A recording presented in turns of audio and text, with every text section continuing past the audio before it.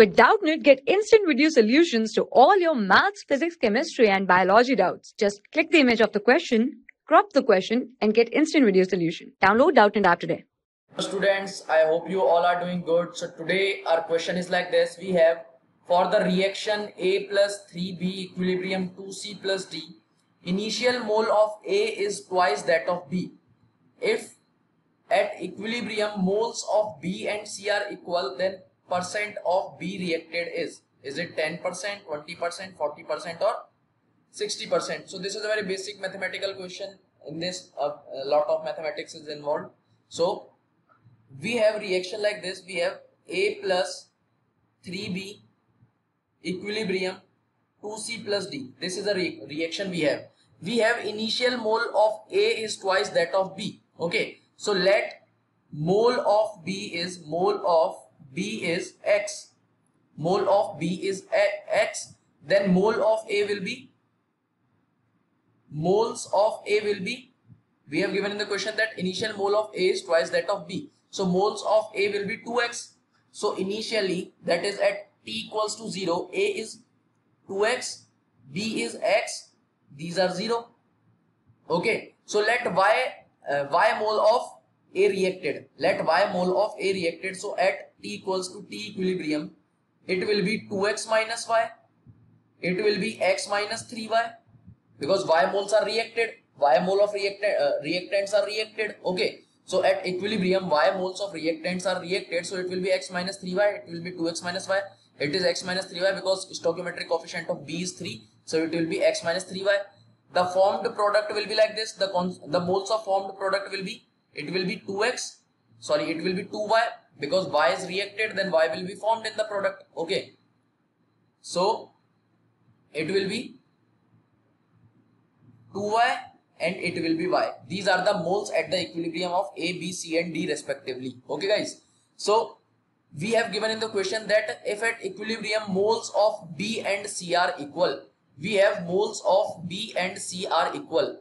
So what are moles of b and c at equilibrium this is x minus 3y and 2y so moles of B and C at equilibrium are equal. That means x minus 3y is equals to 2y. So x is equals to 5y. x is equals to 5y. Then percent of B reacted. We need to find out percent of B reacted. Initially what is B? What is the moles of B? Initially these are 5y.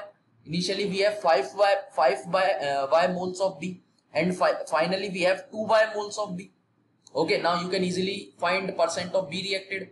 So percent of b reacted will be percent of b reacted will be moles of b initial minus moles of b final divided by moles of b initial into 100 this is the basic. You can easily find the b reacted.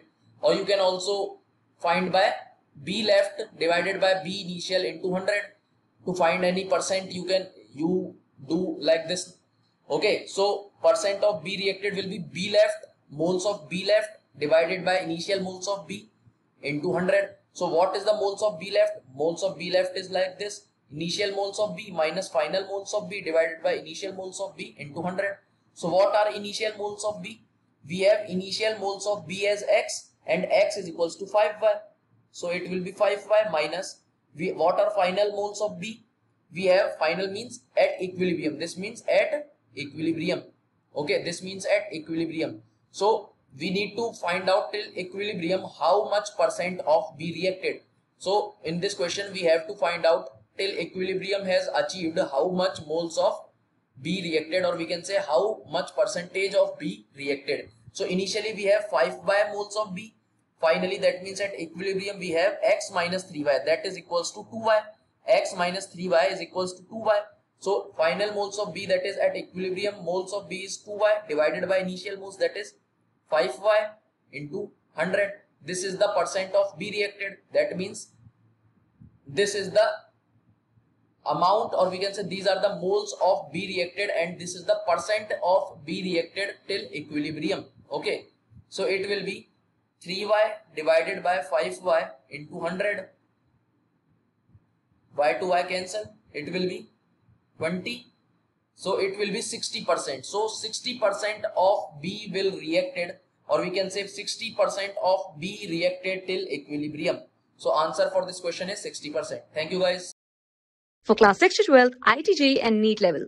Trusted by more than 5 crore students. Download Doubtnut App today.